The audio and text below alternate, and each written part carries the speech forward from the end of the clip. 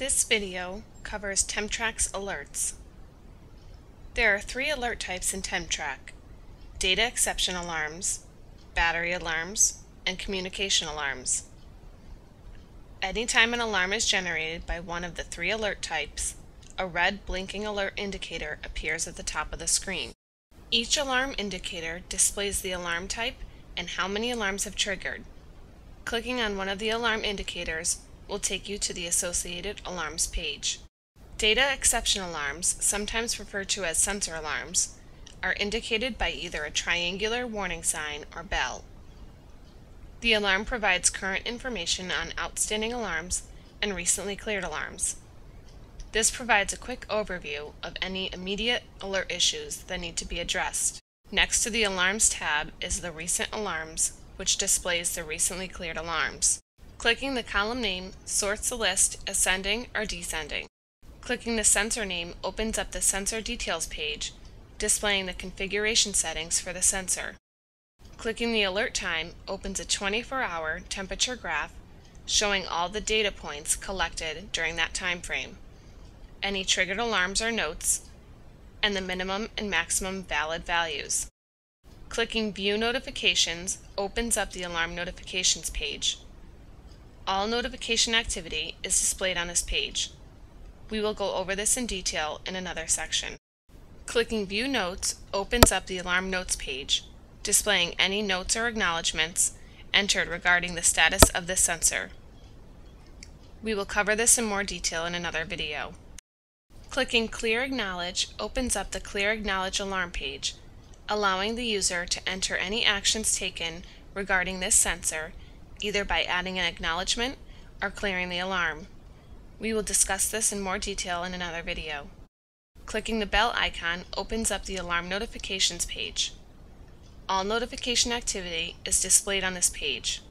If there are multiple pages, clicking the green left and right arrows at the bottom will take you to the previous or following page.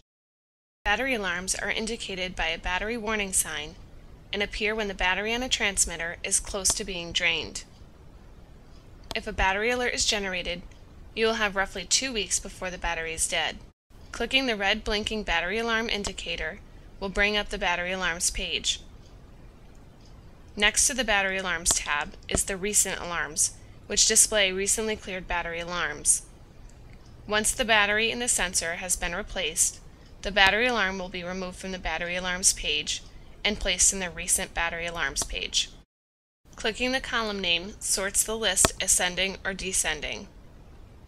Clicking the sensor name opens up the sensor details page, displaying the configuration settings for the sensor.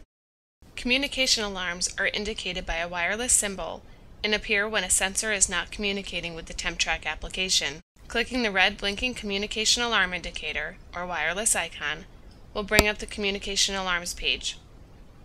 When the sensor starts communicating with TempTrak, the sensor will be removed from the communication alarms page.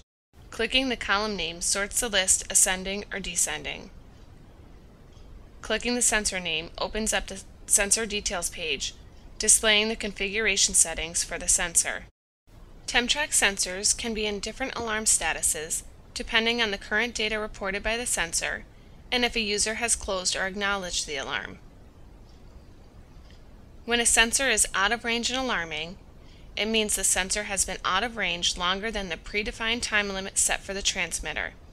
It has gone into an alert mode and generated a notification to alert and a user has not performed any corrective action. An alarm bell will appear in the lower right corner.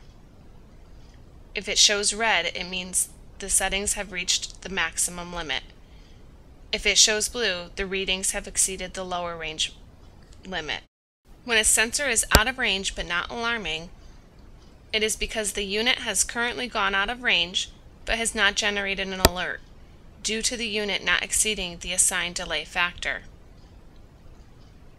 The delay factor establishes a time delay where an alarm has not been generated, but the unit has exceeded its valid operating range. Once the time delay has been exceeded, an alarm will be generated. When a sensor is in range and alarming, it means the sensor had been out of range longer than the predefined time limit set for the transmitter and generated an alarm. The alarm has gone back into range, but the user has not responded to the alarm. When a sensor alert is acknowledged, it is because the sensor went out of range and generated an alert.